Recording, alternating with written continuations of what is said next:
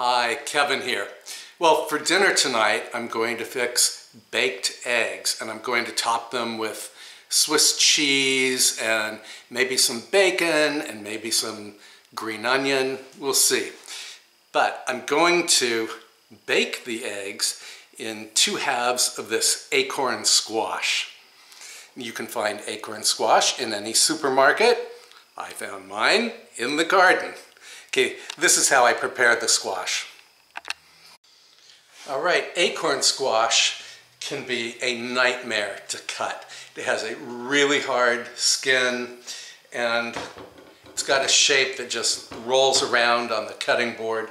So what I do is slice off just a bare section from one side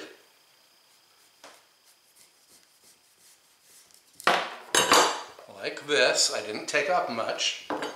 This way, the squash will lay flat on the work surface.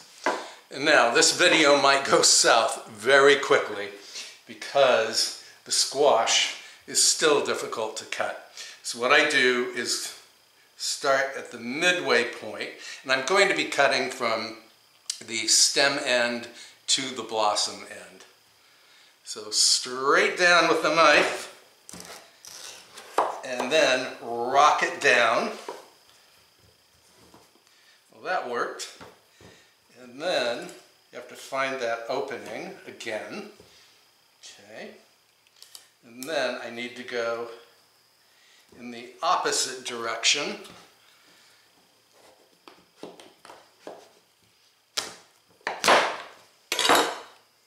Done. Now let me show you a really cool way to remove the seeds quickly and easily. I use a common ice cream scoop to remove the seeds. what you do is just go around and around and around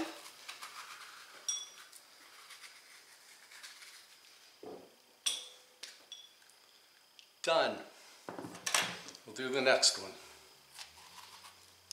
Move this over so you can see. Yeah, just twist the ice cream scoop. No seeds.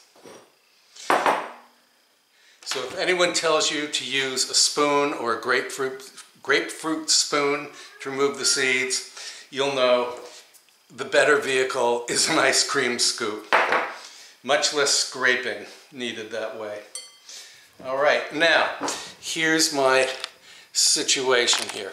I was going to roast, too close, sorry about the hand. Um, I was going to roast a squash in a 400 degree oven, but that is going to take about an hour. And it's already, what time? It's 6.14. It's late and I'm hungry, so I'm going to cook the squash in the microwave. I think that's going to take about 12 minutes. Okay, and before I set these squash to cook, I'm going to just give them a little short shot of olive oil, just a tiny amount, and then brush it all along the flesh.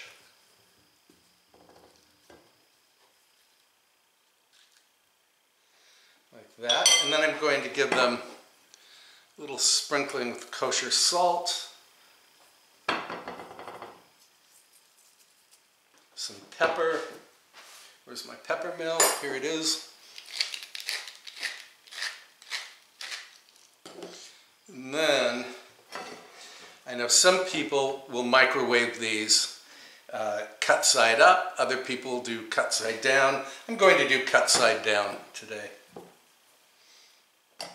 By the way, I made the same uh, baked egg recipe yesterday and I did it in the conventional oven. It worked out really well. Okay, I'm going to microwave these for 12 minutes and then I'll come back. Okay. While the squash is cooking, I wanted to tell you that you can save these seeds and roast them just as you would pumpkin seeds. They're really delicious. Or you can shake the seeds onto a paper towel, uh, just rinse them, put them on a paper towel, let them dry, store them over winter, and when spring arrives, you can plant them in your garden. Okay, we'll be back. All right, I had the squash in the microwave for just 10 minutes, and then I let it sit for about five minutes. And let's test. Yeah, the skin pierces very easily with a knife. So these are definitely cooked. I'm going to flip them over. Ooh, they actually got a little brown inside. That's nice. And then, I guess I can go ahead and just cook them inside of this little casserole dish. So what I'm going to do is first add some Swiss cheese. A lot, maybe a tablespoon or so. This is just shredded Swiss cheese. Nothing fancy, it's not Gruyere, although you could certainly use Gruyere if you like. And then I'm going to add the eggs. And these are super fresh eggs.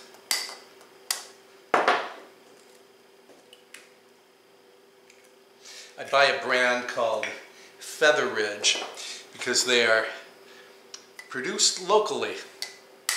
Okay, the eggs are in. Then what do we want to do? Let's see. I want to add some salt and pepper. Hope you can see all right. I'll move you in a little closer. A Little kosher salt and some pepper. And then I'm going to add some Parmesan cheese. I have some leftover grated Parm. I'm going to sprinkle this not directly over the yolk because I kind of want the yolk to be visible.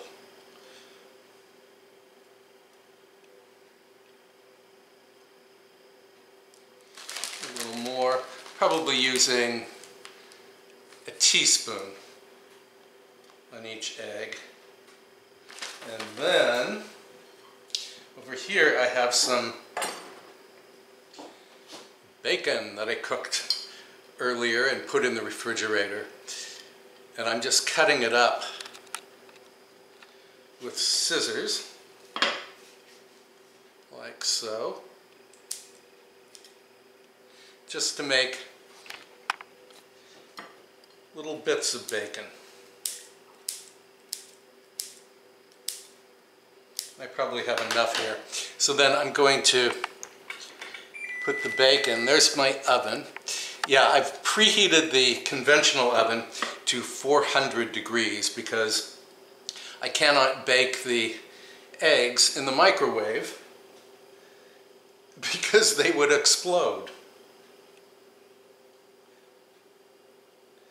I guess I could pierce the yolk and then they wouldn't explode, but then the yolk wouldn't be that much fun.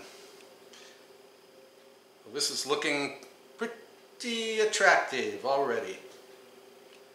Yeah, just a little bit of bacon in each um, in each squash. Okay, then I'm going to bake these just until the Whites are set, but hopefully the yolks are still soft. Let me talk with you. Yeah, when I made this yesterday evening, the I had the oven set to 425 degrees and I baked the eggs for 20 minutes. Big mistake. The eggs were really hard, okay? And I know some people like really thoroughly hard-cooked eggs. I do not. I like a runny yolk, or at least the soft yolk. So 20 minutes at 425 was way too long. So I'm going to watch it tonight. The oven again is at 400 degrees Fahrenheit. And I'm going to check the eggs. I think after 10 minutes. All right, I'm going to put this in the oven and then we'll come back. All right, here's the squash with the eggs baked in the squash. Now, I had this in the oven for 10 minutes and I checked the eggs were definitely not done enough. They were really loose, so I gave them another five minutes, and now they might be overdone. So maybe the correct timing is more like 12 minutes. But I, it's not too hard. It's certainly not like it was last night. And maybe that's cheese on top that just looks, makes the egg look overcooked. We shall see. Anyway, I'm going to garnish these with some scallion that I cut up with my scissors.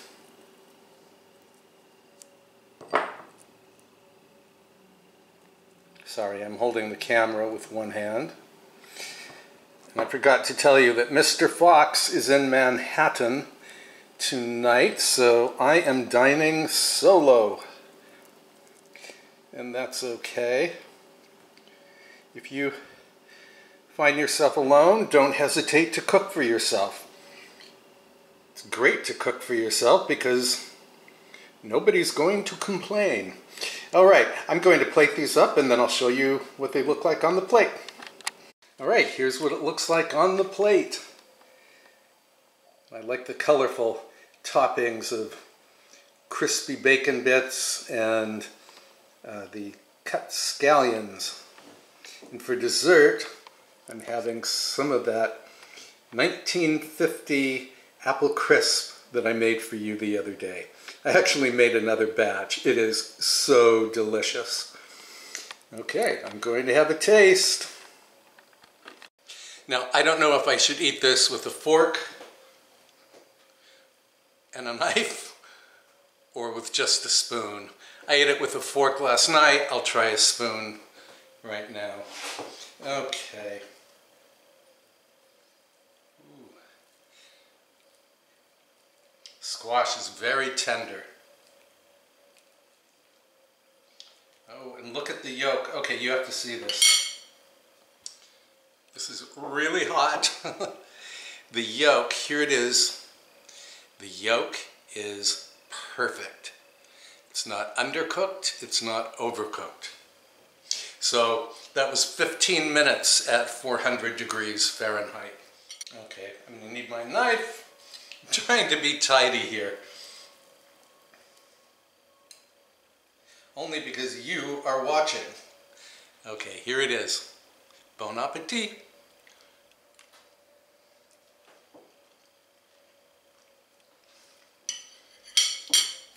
It's even better than, well, it is vastly better than the one I made last night because the egg is not overcooked.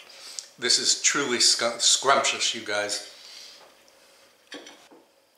Well, I hope you will give this, I don't even know what I'm going to call it. Um, eggs baked in acorn squash, a gratin of eggs in acorn squash. I don't know. We'll see what title I come up with when I publish the video. Um, but please give it a try. And uh, it, it's a, a terrific dish for late summer, autumn, winter, really any time of the year. It's very filling too. And I think it's pretty healthy. So again, thank you for watching and please post a comment below. I really love hearing from you. Uh, and that's all. Okay, I'll see you next time, probably tomorrow. Thanks again. Bye-bye.